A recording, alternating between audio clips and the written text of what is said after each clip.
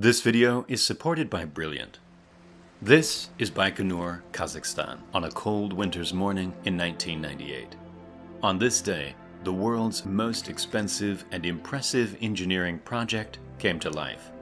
This is, of course, the first module of the International Space Station being launched into orbit.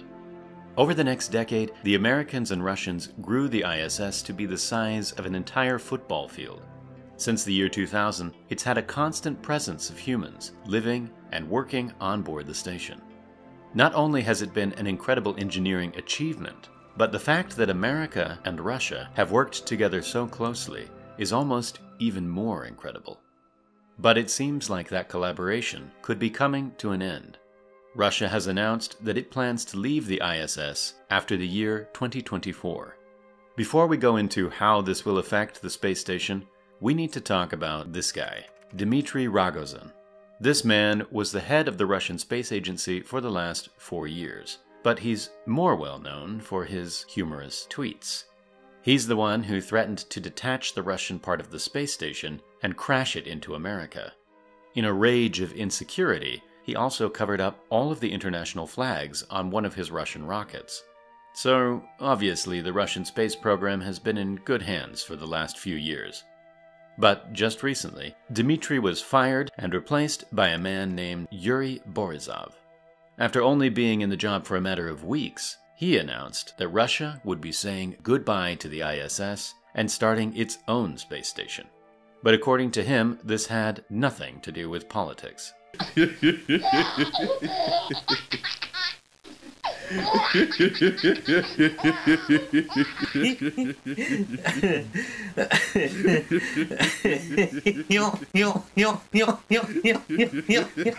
all joking aside, this isn't actually all that surprising. The ISS is now over two decades old, and as the tech on board gets even older, it will only cause more and more problems. One of the reasons that Russia wants to leave is that they are spending more time fixing things than actually performing experiments. Since it's so expensive to send things up to the ISS, it's not very often that things get updated. The main computers on the ISS are from 1988 and have less processing power than the original PlayStation. But it's not as easy as just sending the latest MacBook up there. In order for computer components to work well in space, they have to be radiation hardened. This is a lengthy process that involves years of customizing each electrical component, protecting them from the intense radiation that hits the ISS every day. It can take years just to certify that a laptop is ready to survive in space, and by that time, it's already well out of date. Of course, NASA also sends regular laptops and iPads up there, but they are expected to fail. In fact, there are over 100 laptops on the ISS, and most of them don't work. Imagine there being some kind of dungeon with piles of old ThinkPads stacked on top of each other. Either way, the ISS is old, and if Russia wants to move on and start its own space station, then let them do it. But it's not so easy. After all, it's called the International Space Station, and every member plays its role in keeping it running. The US provides the Russian segment with all of its power, and most of its communications, too. This section here is the Russian segment and contains various thrusters that are used to steer the space station. One of the most important tasks these thrusters need to carry out is reboosting the station. You see, although the ISS is in space, there are still tiny traces of atmosphere at this altitude, which slow the station down and lower its orbit. Because of this, the station can lose up to 100 meters in altitude every single day.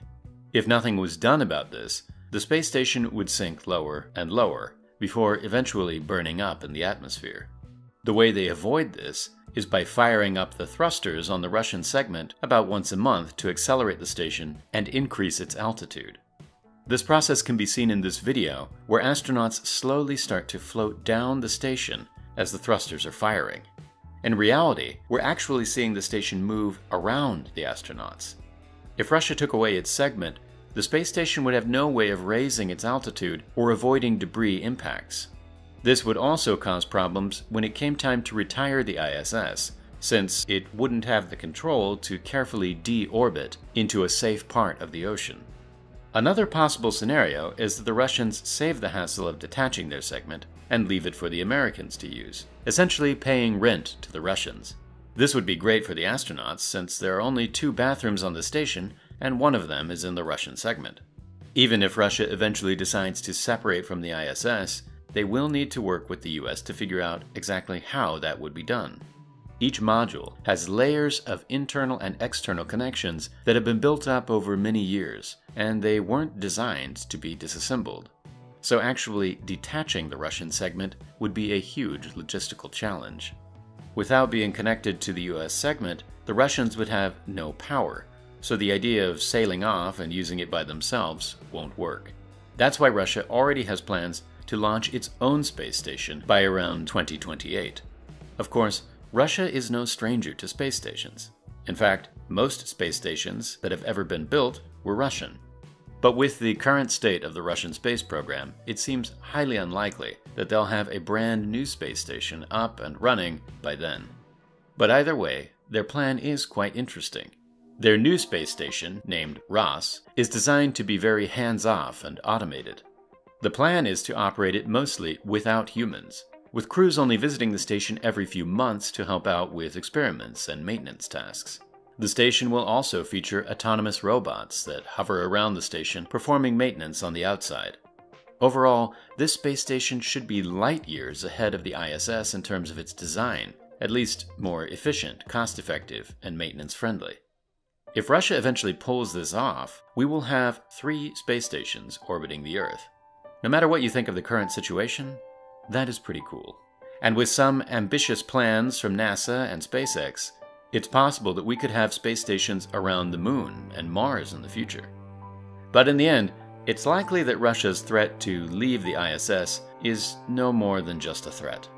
According to the engineers on the ground, it's clear that the goal is to continue working with NASA and the international partners beyond 2024. And so, despite the age of the space station, it will hopefully continue pushing the boundaries of science and helping us to further our understanding of Earth and the universe. Another great way to learn about the world is Brilliant.org, an online learning platform that helps you learn anything STEM related in an interactive way. Brilliant is such an effective way to learn stuff since it teaches you to think critically about problems and truly understand them. Using one of the many interactive courses, Brilliant takes complex topics and explains them to you in a way that's easy to understand. If you have an interest in things like space, science, math, and engineering, then Brilliant has you covered. Brilliant has a wide range of interactive courses designed to give you a deep understanding of how and why things work so you can apply them to everyday life. I highly recommend checking out this new course made by fellow YouTuber Kurzgesagt. This class looks at the math and science behind black holes and is a super fun and interactive way to learn about how they actually work. To get started for free, visit brilliant.org/primalspace or click the link in the description.